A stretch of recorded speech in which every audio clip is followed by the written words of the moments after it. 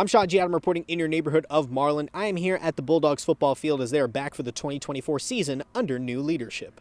Marlin football is back, and the Bulldogs look at fall practices as even playing grounds for Central Texas teams. Right now, everybody in the state's undefeated, and everybody's flying around on the football field, and everybody's got a lot of emotion and stuff all over the state, I'm sure. And there's nothing different here. You know, we're, we're just getting ready to go. Had a really good summer, you know, meaning picked up right where we left off and feel good about everything right now. It's a new era for the Bulldogs with Jeff Rogers taking over as head coach back in March. He was on the staff prior to taking head coaching duties, but that familiarity with the team also helps establish chemistry. Yes, sir, I like him. He's awesome. He's, he's you know, he know the right stuff. He's teachable.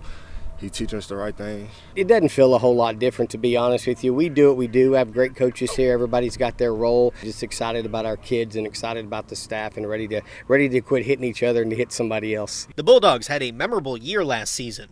11 and 3 and undefeated in district play, which they were crowned champions. For this season, the team looks to finish higher than they did. Everybody was upset the way the season ended, and you know you look back on it in four rounds is a good season, but we have high expectations here. I feel like we we could have did better with weight room, but now we're working on weights, running, things like that. The Bulldogs' first game of the season will be on the road on August 30th against Lexington. Reporting in Marlin, I'm Shaw G. Adam.